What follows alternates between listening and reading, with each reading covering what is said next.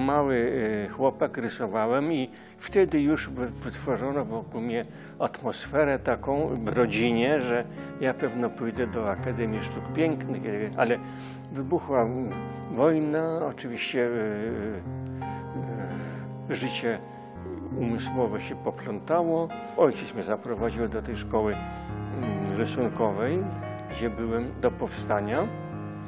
A po powstaniu wpadłem w depresję i nie chciałem, nie, uznałem, że nie będę ni, niczym, bo do niczego się nie nadaje. E, e, gdzieś, gdzieś pójdę do pracy jakiejś, do biura. Powstanie to, to była zagłada miasta. Znaczy nie tyle samo, sam, same bitwy, ile zagłada miasta, czyli mojego świata. Więc skoro mój, mój świat przepadł, to ja, to ja się załamałem po prostu. Ale znajomi, y, jeden zwłaszcza taki znajomy rodziców, y, y, rzeźbiarz, którego po wojnie zaraz zaangażowano do akademii, jak się akademia formowała, na asystenta. I, któregoś razu przyszedł na kolację do nas, bo był dom, takim prawie domownikiem, do- domowym gościem. Mm, I powiedział, no panie Jacko, to my jutro idziemy do rektoratu, żeby pan się zapisał do akademii. I poszliśmy, zapisałem się, y, zdałem egzamin i tak się zaczęły studia w 1946 roku na wiosnę. Całe życie mi dokuczają, że jestem ponury, że jestem pesymistą y, i tak dalej. Prawdopodobnie jestem tak zwaną naturą depre, depresyjną, y, a y, mm, sztuka, czy, sztuka w, w- dwóch postaciach. To po pierwsze ta sztuka, którą y, ja y, chłonę z zewnątrz, to znaczy malarstwo, in, y, muzyka i, i tak dalej, oraz to, że sam ją robię, uprawiam malowanie, to mnie trzyma przy życiu.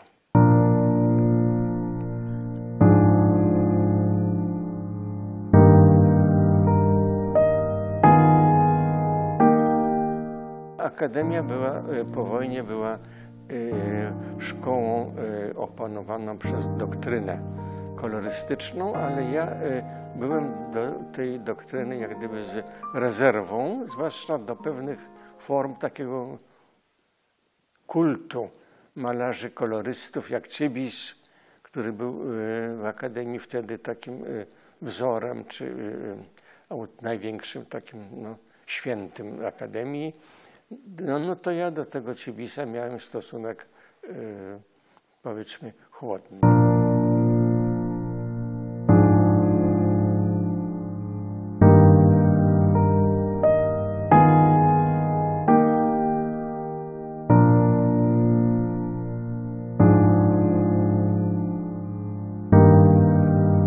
Równocześnie e, w tym już ostatnim okresie socrealizmu zaczęła się mm, pojawiła się tak zwana odwilż i wtedy ten arsenał e, mm, jako wystawa powstał i no, grupa ludzi zaangażowanych w to ujawniła się bardzo silnie. Młodzi to byli w moim wieku lub trochę starsi.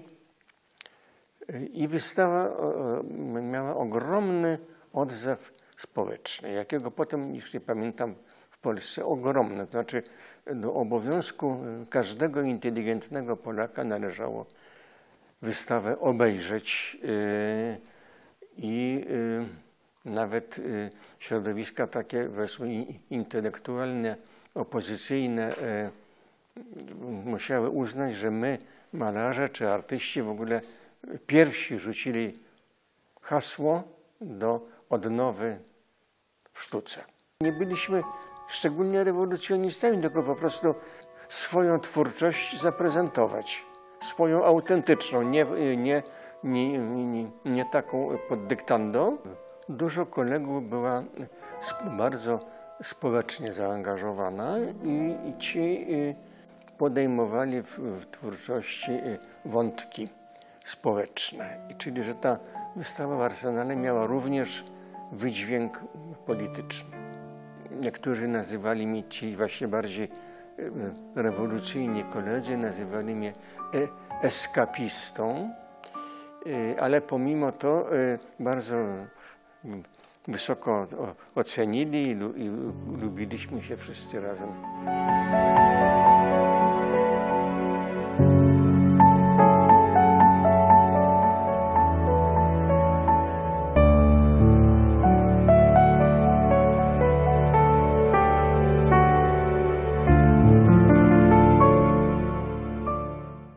Jako młody bardzo y, chłopiec w okresie okupacji przeżyłem okres takiego fanatyzmu religijnego, to znaczy byłem y, praktykujący, y, chodziłem do kościoła, unosiłem się nad formami liturgii, takiej wspaniałej liturgii katedralnej, którą odbierałem jako wspaniały teatr. Taki, teatru w czasie wojny nie było, wobec tego ta mm, msza wielka w katedrze spełniała rolę takiej, e, takiego te, teatrum. Y, Byłem religijny, bo po, po wojnie e, wszedłem w środowiska laickie, inteligencji polskiej laickiej, bo inteligencja dwudziestolecia była oczywiście nie, niewierząca, była racjonalistyczna, y, sceptyczna. No i ja wśród nich też nabrałem te, tego stylu myślenia. Także w tym czasie y, kwestia religii nie, w okresie studiów y, nie istniała. Podróże pojawiły się bardzo późno w moim życiu, bo pierwszą taką wielką podróż europejską odbyłem mając lat 30 dopiero. Po- Powinienem zrobić to mając lat 18 czy 20. Naj, najpóźniej teraz jeżdżą, jeżdżą y, przecież uczniowie sz- szkół y, wszędzie po świecie. Ja tego, myśmy te, tego robić nie mogli. Natomiast po arsenale nastąpiła odwilż oraz pewna taka e, reakcja władz państwowych, żeby te straty, które spowodował socrealizm, y, wyrównać. Wobec tego utworzono wielki taki, ta, taki fundusz stypendialny, państwowy, żeby młodzi artyści mogli zobaczyć wielkie muzea światowe. i tak. Ja takie stypendium otrzymałem i odbyłem podróż po Włoszech i po Francji. Wtedy ogromne to miało dla mnie znaczenie. Y, Moim ulubionym poetą jako młodego bardzo chłopca był Słowacki i, i, i ten jego nurt właśnie mistyczny bardzo chłonąłem. To, uznałem to za swoje. Mm.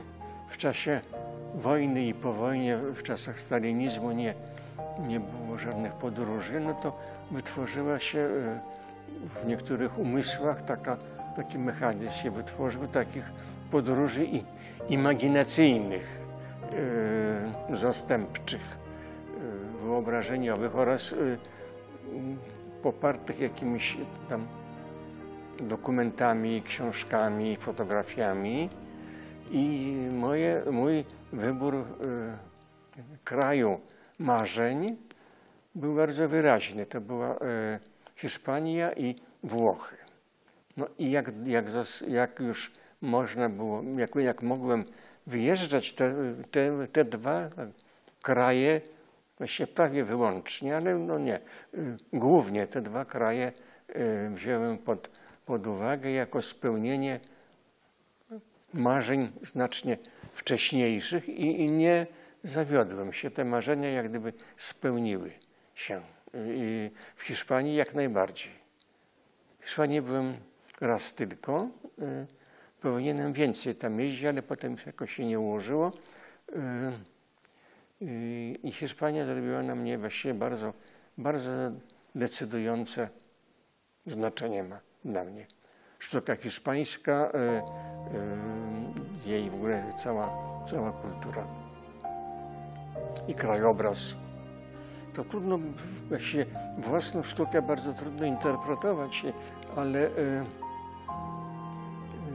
jest taki świat, y, jest taka rzeczywistość, która nie, nie wyłącznie w realiach się przejawia, ale, ale w jakichś ideach, czy nawet wierze religijnej poza, pozamaterialnej. I, I nie sfera moralna, powiedzmy, tylko sfera metafizyczna.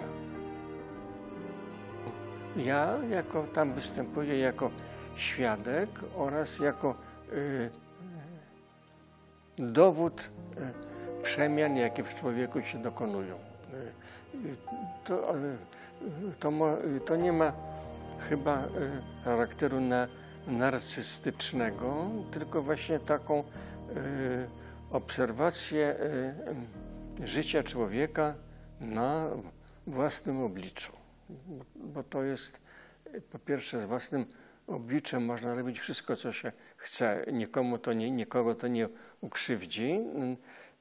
y, Po pierwsze, a po drugie, a po drugie wszystko jest wyraźniejsze. Każdy, że tak powiem, y, odcień psychologiczny y, łatwiej jest odczytywalny przez samego, y, że tak powiem, bohatera. W pewnym okresie pod wpływem jakichś życiowych takich wstrząsów wróciłem do, do religii i poszedłem po wielu dziesiątkach lat do spowiedzi. Nagle do księdza Twardowskiego. A, świetnie, Pan Bóg jednak kocha grzeszników, powiedział. No i już. I, i od tamtej pory, to był, który to był rok? 75, 6, coś takiego. Yy, Wróciłem do religii, to potem jeszcze się siłą rzeczy wzmocniło w okresie stanu wojennego, bo wtedy cały naród stał się głęboko wierzący. Dziwnie, bo na- bo nawet y, tacy, którzy byli y, ateistami w ogóle z, z ducha i z przyzwyczajenia, y, zaczęli chodzić do kościoła, przyjmować y, komunię i tak dalej, co mnie bardzo dziwiło, a niektórych to bardzo śmieszyło nawet. Y, Mnie to nie śmieszyło, bo to uważałem za dobro, za korzyść jednak dla nich. Jeszcze w akademii jako student miałem skłonność do gamy takiej ochłodzonej porównaniu z innymi kolegami i bardziej stonowanej. E, A później właściwie te fiolety to pojawiły się właściwie bez wyraźnego programu. To tak mi jakoś pewnego razu wyszedł taki obraz i pomyślałem sobie, że to może jest właśnie jakiś wątek, który należy y, rozwinąć dalej, a oczywiście istnieje symbolika y, barw y, i taki i fiolet należy do barw y, mm, głęboko duchowych. Ale to dopiero dowiedziałem się y, potem już, jak namalowałem całą serię tych fioletowych obrazów. Ym, Czyli, że intuicja jak gdyby mnie nakierowała, a nie rozum na to. I w, w, takich, y, w takich tonach właściwie do tej pory y, działa. Tam czasem jest dodatek jakiegoś innego koloru. Przyszło na mnie olśnienie, któregoś razu natchnienie, żeby robić y, kolorowo. I robiłem barwne. A teraz jest tak po, po środku, trochę barwne, trochę niebarwne. Tak. Używam od szeregu lat używam trzech, w gruncie rzeczy trzech y, farb, trzech kolorów. To jest czerwień, błękit i biel. Z tego wychodzi właśnie ta gama raz bardziej czerwona, raz bardziej fioletowa i tak czerwień z błękitem daje połączony, daje pomieszany, daje fiolet. Nie planowałem nigdy żadnej destrukcji, tylko usiłowałem y, dojść do pewnego, y, y, zrealizować pewną, pewne swoje rozumienie formy, która mi się, ta forma mi się nie poddawała w ogóle. I nie mogłem, nie mogłem z tego płótna tej formy wy, wydusić, wobec tego zdrapywałem szpachlą y, obrazy, pół, to co namalowałem, żeby namalować ponownie, ponownie, ponownie i z tego zdrapywania porobiły się dziury. I jak zobaczyłem takie dziury, to pomyślałem sobie, że, y, że y, skoro się pojawiły, to znaczy, że- była jakoś potrzeba, że jakaś, jakaś, jakiś los, los o tym zdecydował, że one się pojawią i nie mogę ich y, likwidować, nie mogę serować, nie mogę tego y, reperować, tylko niech one będą, niech one będą jako dokument, jako dokumentacja wypadku przy pracy. O, i, I tak ja je y, traktuję, ale już dawno dziur nie robię. Parę lat to uprawiałem i, i to mi przyniosło y, pe- pewną taką sławę w środowisku y, warszawskim, czy w ogóle Polsce brano te, te, akurat się to zbiegło z stanem wojennym, z morderstwem księdza Popiełuszki, czyli że one były jak najbardziej aktualne politycznie, że tak powiem, i wobec tego brano moje obrazy hurtowo na rozmaite wystawy organizowane w, no, y, w, w ramach kultury niezależnej. W- Taki w parafiach, w kościołach, w podziemiach y, były urządzane wystawy i moje obrazy tam funkcjonowały y, nagminnie.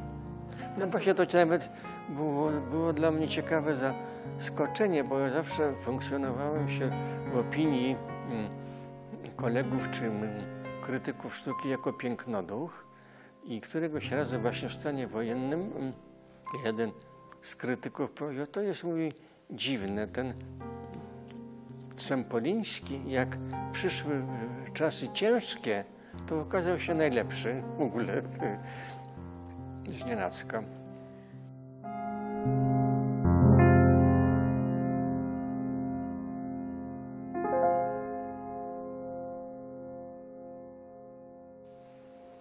Sztuka to prawdopodobnie jest w człowieku gdzieś ulokowana, w człowieku w ogóle, nie w artystach, tylko w, w, w ludziach jakaś potrzeba e, innego życia. W każdym człowieku, tylko że na ogół ludzie to za- zagłuszają. E, Życie codzienne oczywiście tłamsi i w ogóle na ogół ludzie nie pamiętają o tym, że tam kiedyś, dawniej, jak, jako dzieci albo e, e, później odczuwali takie mo, momenty jakiegoś uniesienia nad e, urodą świata albo nad siłą jakichś przeżyć. Taka jakaś jest energia, która daje człowiekowi poczucie, że świat nie jest tak dokładnie taki, jak, jakim żyjemy, tylko trochę czymś innym jest. I to prawda, ta e, energia prawdopodobnie jest istotą sztuki, którą y, niektórzy y, y, wariaci usiłują przetworzyć w, w dzieła, w utwory materialne, czyli w dzieła sztuki. Z tego sztuka y, się bierze. Z potrzeby rzeczy nieistniejących. Z potrzeby rzeczy nieistniejących i właściwie z, o, z tęsknoty z, za rzeczami nieistniejącymi. No tak, no coś takiego.